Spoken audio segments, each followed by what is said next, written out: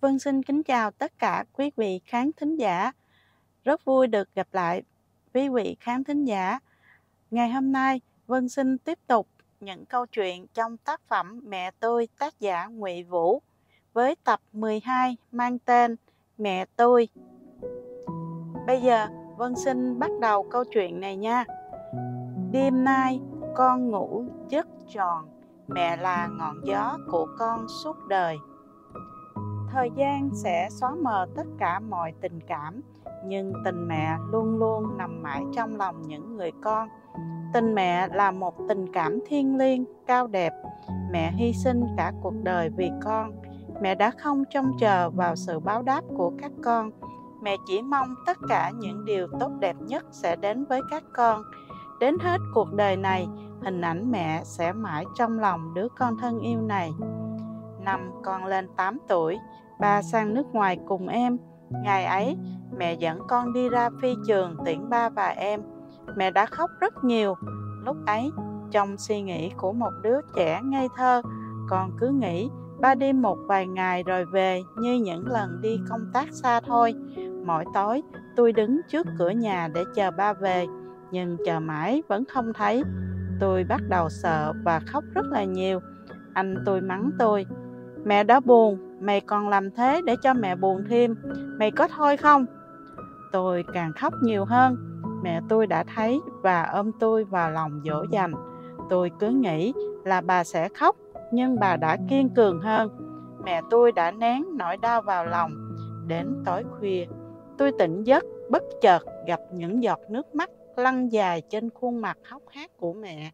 Mẹ khóc vì nhớ ba và em tôi tìm tôi đào nhói Tôi chỉ cầu nguyện mong ba và em sẽ sớm trở về.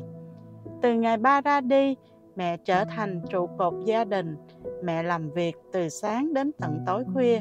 Cứ mỗi tối trước khi đi ngủ, mẹ lại hỏi chúng tôi muốn ăn gì vào ngày mai. Mẹ một mực hết lòng luôn chiều anh em tôi. Những lúc tôi được điểm cao, mẹ là người tôi muốn báo tin đầu tiên. Con vui, mẹ vui, con buồn, mẹ buồn con đau một, mẹ đau mười. Mẹ là một người bạn để con trút bầu tâm sự, là chỗ dựa tinh thần. Có ai trên đời này yêu con bằng mẹ, có ai suốt đời vì con giống mẹ, có ai sẵn sàng chia sẻ ngọt bùi cùng con như mẹ.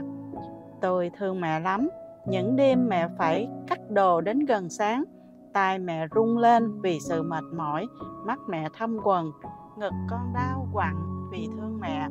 Có lần, mẹ đã đánh con vì con nói dối mẹ.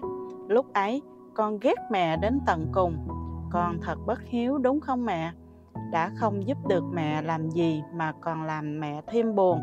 Nhiều lúc, tôi nghĩ, giá mà không có anh em tôi trên đời này, mẹ đâu phải làm việc kiệt sức đến vậy. Tôi đã từng hỏi mẹ, giá như lúc trước mẹ đừng sinh ra con mẹ đã không phải khổ đến vậy. Bà đã mắng và không cho phép tôi nói linh tinh như vậy. Tôi thầm mong mình lớn thật nhanh để đỡ đần giúp mẹ.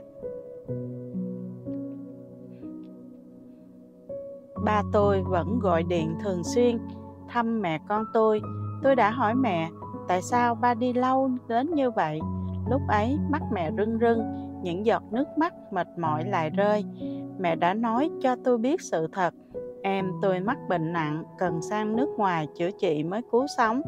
Tôi chết lặng với tin xét đánh ấy. Tôi không làm nên việc gì vào những ngày sau đó. Tôi tự trách mình, tại sao lại vô tâm đến mức chuyện trong nhà mà tôi không biết. Tôi giận mẹ, tại sao lại không cho tôi biết. Mẹ đã ôm nỗi đau chịu đựng một mình. Chính mẹ là người tiếp thêm sức mạnh, niềm tin, hy vọng để tôi được bình thường trở lại tôi không biết phải làm gì hơn ngoài nghe lời mẹ, cố gắng học tập để được gặp lại ba và em. 8 năm trời ròng rã, mẹ con tôi đã được gặp lại ba và em. Ngày ấy, nhà tôi ra phi trường thật sớm, mẹ đứng ngồi không yên. Tôi lại thấy những giọt nước mắt mẹ rơi, những giọt nước mắt hạnh phúc. Còn tôi như được sống lại thêm lần nữa. Cuối cùng, gia đình tôi cũng được đoàn tụ sau nhiều năm xa cách đời mẹ là những hy sinh, những tảo tần, những bận rộn.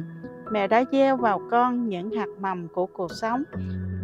Trong vòng tay nghiệt ngã của cuộc đời, có thể con đã phải bỏ lại nhiều thứ, nhưng hình ảnh của mẹ sẽ theo con đến suốt cuộc đời.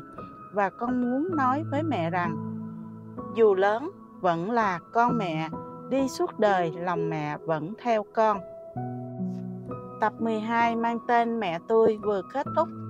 Tác giả trong câu chuyện này đã kể cho chúng ta nghe về câu chuyện trong 8 năm mà mẹ của tác giả đã chịu đựng để mà cầu mong một ngày cho ba của tác giả và em của tác giả được quay trở về sau khi điều trị căn bệnh cho em của mình.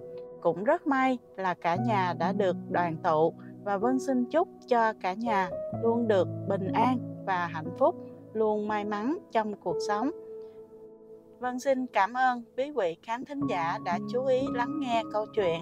Vân xin chào và hẹn gặp lại trong những câu chuyện kế tiếp trong tác phẩm Mẹ tôi, tác giả Ngụy Vũ.